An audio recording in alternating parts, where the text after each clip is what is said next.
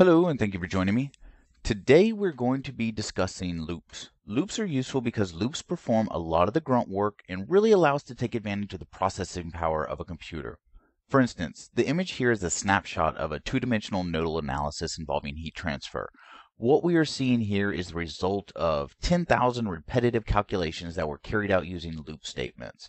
This would have taken a person an absurd amount of time to accomplish by hand, but a computer was able to do this in about two seconds. A loop statement is a piece of code that repeats until certain conditions are met, and that's what allows us to do a lot of grunt work calculations using them. Okay, so what we're seeing here is just a standard do while loop statement or just a loop statement. And if we look right here, we can see we have a normal procedure. We've declared a variable. We've um, assigned a value to this variable. And now here's where we're actually doing some arithmetic. We're doing some math. Um, if you notice, we have a condition up here, and the idea is that i, which is currently set to 1, will keep having 1 added to it while it's less than 11. So what that means it's going to go 1 and then 2, 3, 4, 5, 6, 7, 8, 9, 10, and it's going to keep looping, but the minute it hits 11, it's going to exit that loop, and then we're going to have a message box here that displays i. We're going to have an example of this later. Okay, so I just want to introduce you to the types of loops.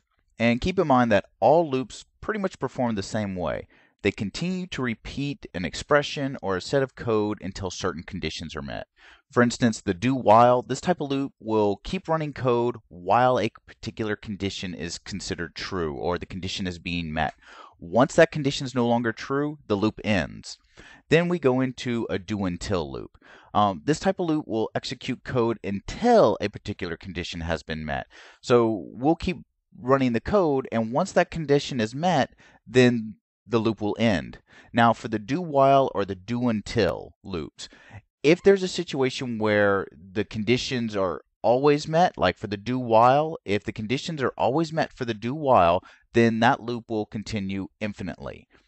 If we have a situation where under the do until loop, if the conditions are never met, then that loop will run continuously. And I'll show you some examples of that later now what we move into is the for next or for each. Uh, really what that is is there's some boundary conditions. So we might have like a value between like let's take a variable i i between 1 and 100 and what we're going to say is that this loop is going to run until i goes from 1 to 100 and that means somewhere in there we have to have i increasing in value so that's how for uh, next loop works so uh, what it's going to do is it's going to go uh, the first value of i or the first value of our variable and it's going to continue through that until we hit an end condition. So there's boundaries set by us, the user.